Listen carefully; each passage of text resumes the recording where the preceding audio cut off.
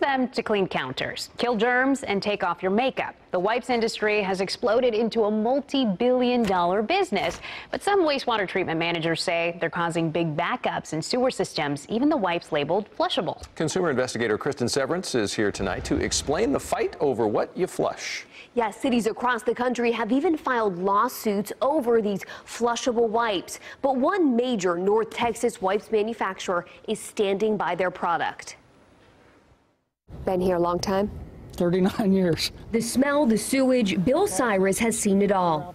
But nothing bothers him more than this. So right away, I see it. Yep, there it is. But are those rags? Those are rags. That, so that's exactly what we're talking about. Yes, that's exactly what we're talking about. What Cyrus calls rags are really wipes, paper towels, rags, tissues, hygiene products, anything that people can get down in the commode. The manager of technical services at Trinity River Authority has seen a huge increase in the rags with the explosion of the wipes industry.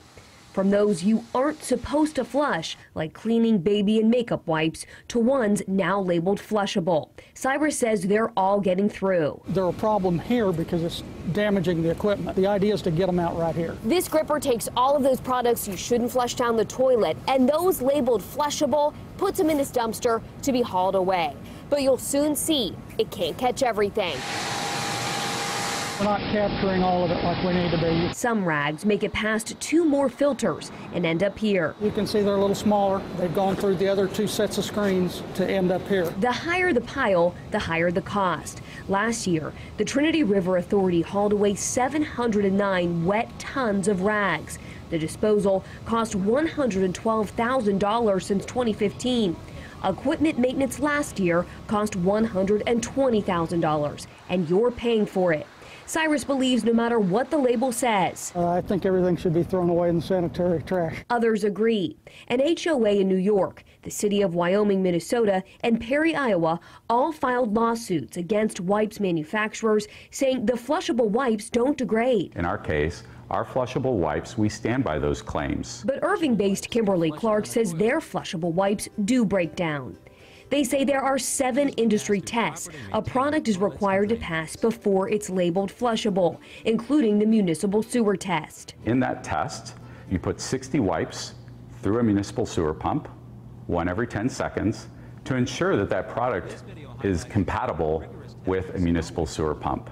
If it can't do that, it's not flushable. Company spokesman Terry Bollock says the non-flushable wipes clogging up city sewers are rarely, if ever, the Kimberly Clark brand. And what is still the largest sewer collection study that's been done to date, uh, there was not a single Kimberly Clark wipe found in that study.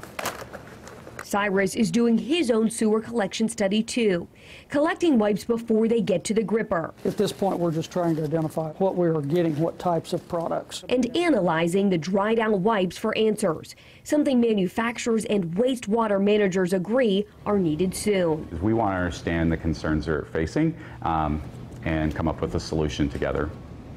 Okay, another point. Manufacturers say if flushable wipes are taken off the market, people will just continue to flush the non-flushable wipes, making the problem even worse. A trade group representing the wipes industry believes that clearly labeled products and consumer education could really help solve this issue. But the National Association of Clean Water Agencies say that the tests need to be more rigorous because some of these wipes may be getting through. Uh, an insight to a lot of things that people don't ever see. Absolutely. We appreciate it. Thanks.